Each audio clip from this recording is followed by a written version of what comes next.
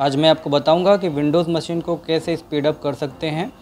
ये करने से हमारे सिस्टम का परफॉर्मेंस इंक्रीज़ होगा हमारे सिस्टम का स्टोरेज स्पेस में इंक्रीमेंट होगा हमारे सिस्टम का लैग कम होंगे और उसके बूटिंग प्रोसेस भी काफ़ी फास्ट होगा। तो आ, कैसे करना है? तो चलिए let's get started fast startup fast startup open setting करने के लिए हमें जाना होगा कंट्रोल पैनल में। हम टाइप करेंगे रन विंडो में कंट्रोल और ओके प्रेस करेंगे। ओके प्रेस करने के बाद हमारे पास कंट्रोल पैनल का विंडो ओपन होगा, जहाँ पे हमें जाना है और सेलेक्ट करना है पावर ऑप्शन को। पावर ऑप्शन सेलेक्ट करने के बाद हमें क्लिक करना है choose what the power button do और इसके बाद करना है चेंज सेटिंग में क्लिक और यहाँ पे हमें अनटिक करना है टर्न ऑन फास्ट स्टार्टअप और सेव करना है।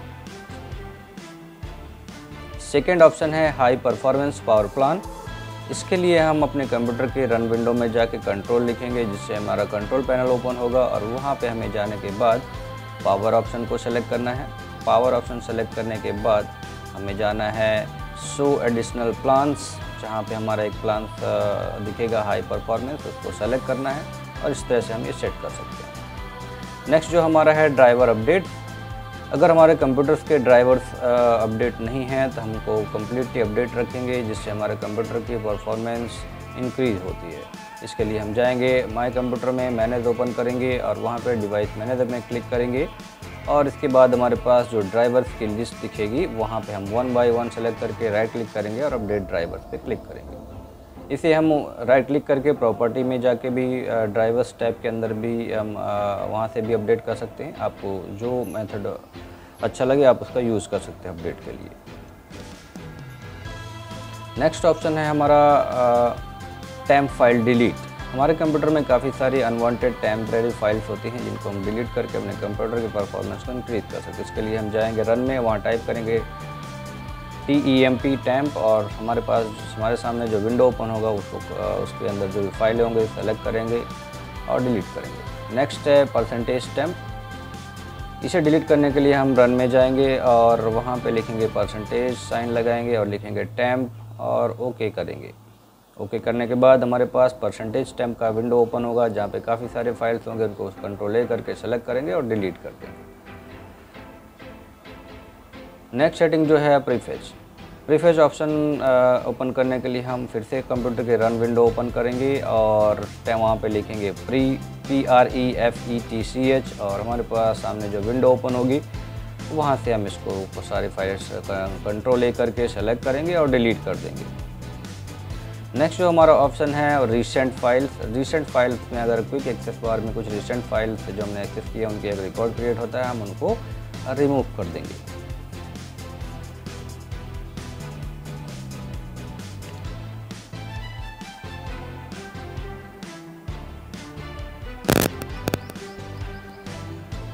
नेक्स्ट स्टेप में हम जाएँगे services dot M S C हम सर्विसेज़ को कुछ सर्विसेज़ स्टॉप करेंगे, जिससे हमारे कंप्यूटर का परफॉर्मेंस इंक्रीज़ होगा।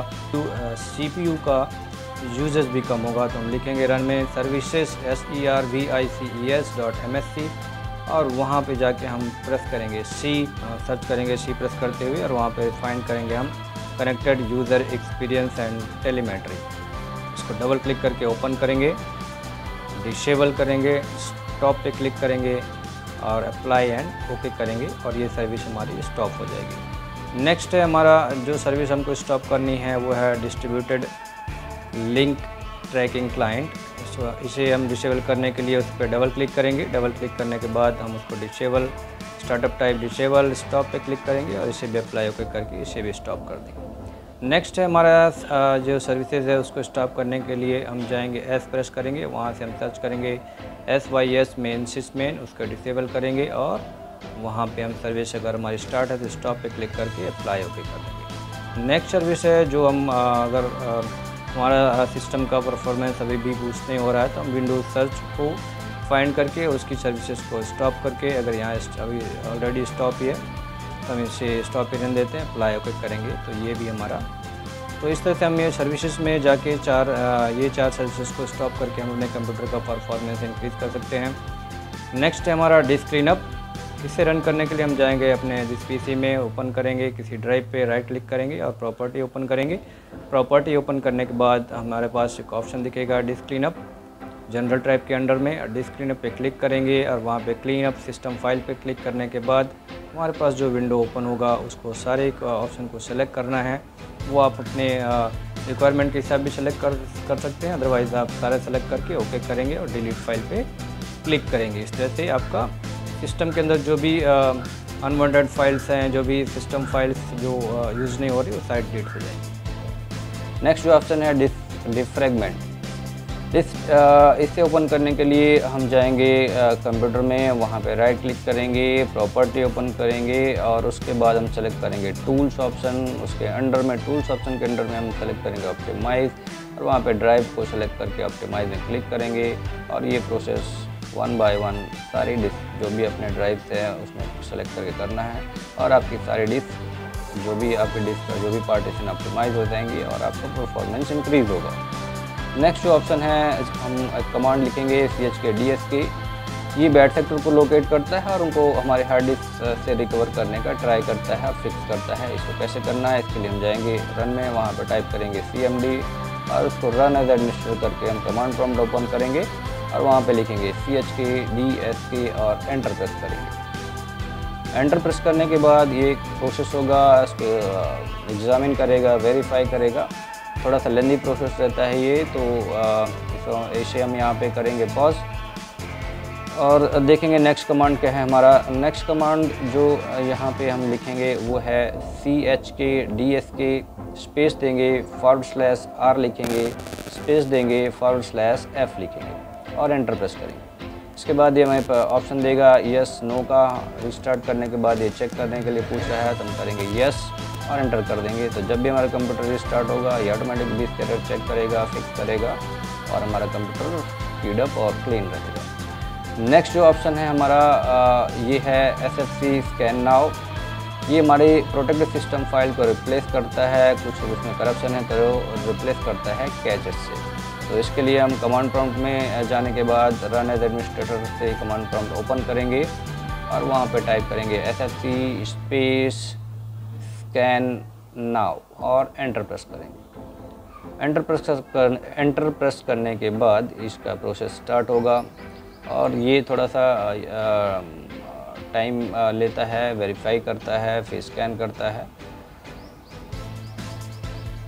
तो यहाँ पे अब ये कमांड को ज़रूर यूज़ करें, जिससे हमारे कंप्यूटर का परफॉर्मेंस इंक्रीज होता है।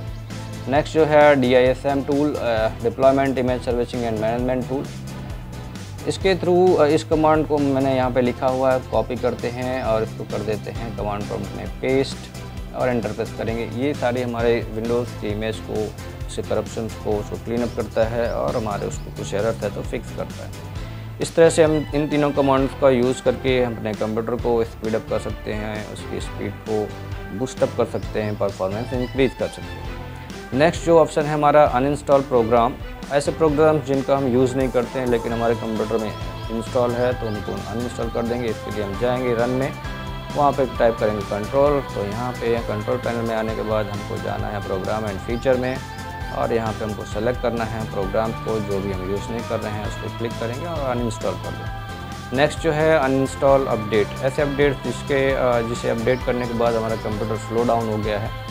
तो यहाँ से हम उनको भी रिमूव कर देंगे सेलेक्ट करेंगे और उनको अनइंस्टॉल कर देंगे।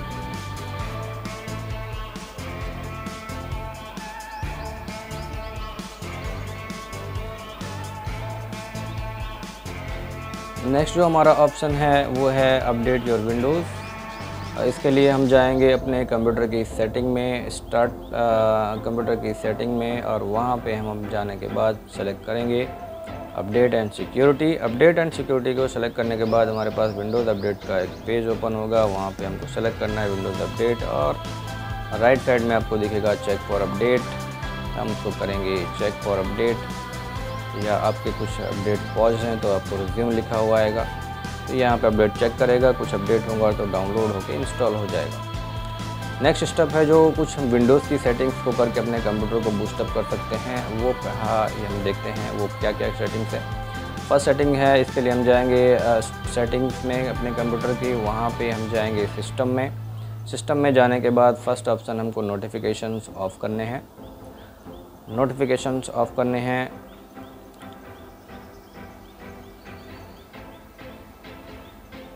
यहाँ पे हम one by one by one by one भी कर सकते हैं।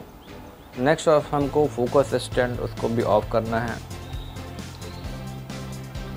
थर्ड जो ऑप्शन है, इसके लिए हम ऐप्स में जाएँगे।